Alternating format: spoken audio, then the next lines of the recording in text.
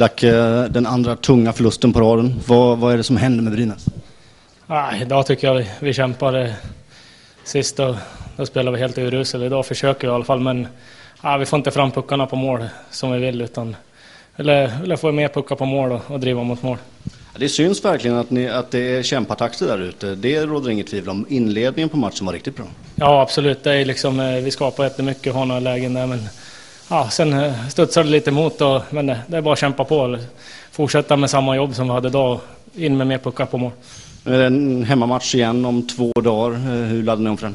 Nej, det är bara att, att bryta ihop idag, ikväll och så komma igen imorgon och träna och sen vara riktigt laddad på lördag. Bra, lycka till då. Tack.